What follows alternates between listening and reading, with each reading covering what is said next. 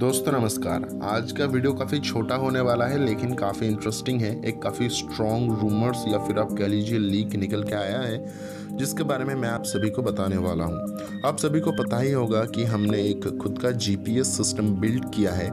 Actually उसका नाम रखा है हम सभी ने नावी अगर इसके बारे में आपको कुछ भी जानना हो तो एक वीडियो इसके ऊपर डेडिकेटेडली मैंने बनाया है, जिसका लिंक मैं डिस्क्रिप्शन में छोड़ दूँगा। आप चाहे तो उसके बारे में डिटेल जान सकते हैं।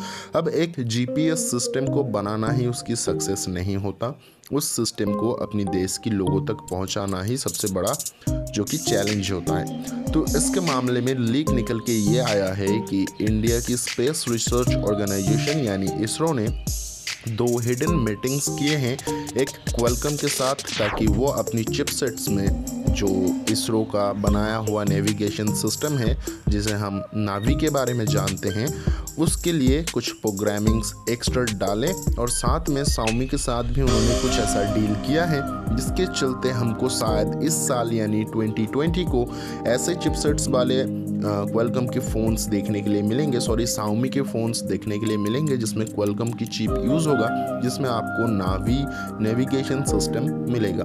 अब ये बात का कहीं पे भी खुलासा नहीं हुआ है कि नावी के आने के बाद क्या जो हम गूगल का जीपीएस इस्तेमाल करते हैं, जो गूगल मैप यूज़ करते हैं, उसको हटा दिया जाएगा या फिर नहीं, लेकिन ये काफ़ी स्ट्रॉन्ग रूमर्स है कि इसी साल आपको देखने के लिए मिल सकता है नावी का जीपीएस वो भी इंडिया में आपकी फ़ोन पे। अगर आपको नावी के बारे में कुछ अलग सी जानकारी चाहिए तो आप कर सकते हैं कमेंट को चेक जिसके पहले ही मैं उसको पिंक करके रखूँगा और साथ में डिस्क्रिप्शन में मैं लिंक छोड़ दूँगा। और कुछ ज़रूरी बातें जो मैं आप सबसे करना चाहता था वो है शायद अगले हफ़्ते का जो वीडियो है, वो ना आए, क्योंकि मैं अपनी घर चेंज कर रहा हूँ, जिसके चलते कुछ तकलीफ़ें मुझे होने वाला है और शायद समय मैं ना जुटा पाऊँ, जिसके चलते वीडियोस ना आए। तो बुरा मत मानिएगा, मैं कोशिश करूँगा जितना जल्दी हो सके, उतना जल्दी फिर से वीडियोस डालने की। अगर वीडियो आपको अच्छा लगा हो तो एक लाइक ज़रूर कीजिए, साथ में सब्सक्राइब करना चैनल को मत भूलिए और इसी तरीके की इंटरेस्टिंग वीडियो देखने के लिए उस बेल आइकन को भी प्रेस कर दीजिए। मैं मिलता हूँ एक और नया फ्रेश वीडियो के साथ। तब तक के लिए गुड बाय